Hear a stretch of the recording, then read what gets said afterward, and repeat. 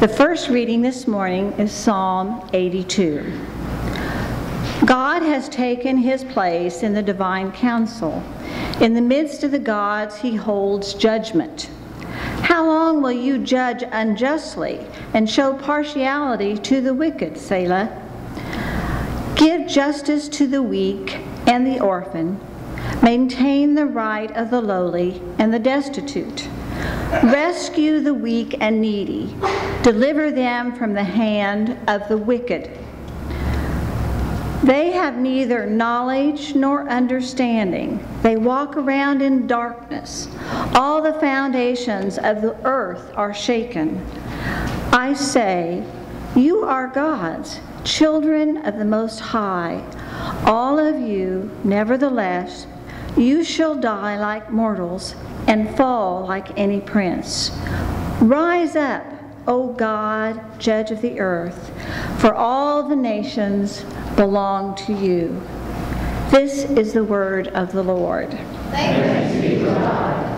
Our second reading this morning comes out of the Gospel of Luke, the 10th chapter.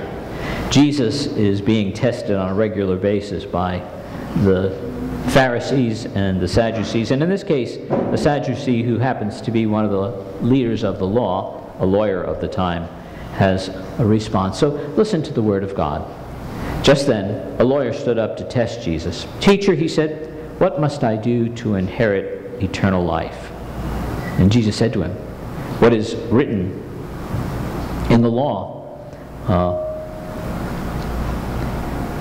what, what do you read there? And the man answered, You shall love the Lord your God with all your heart, and with all your soul, and with all your strength, and with all your mind, and your neighbor as yourself.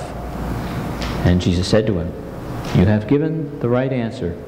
Do this, and you will live.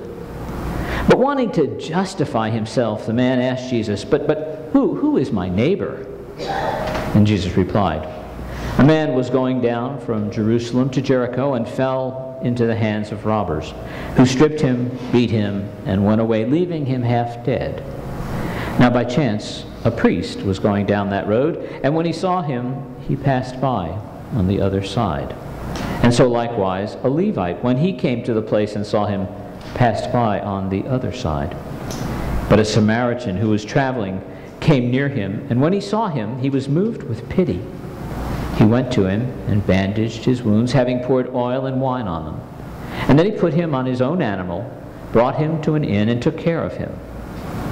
The next day, he took out two denarii, gave them to the innkeeper, and said, Take care of him.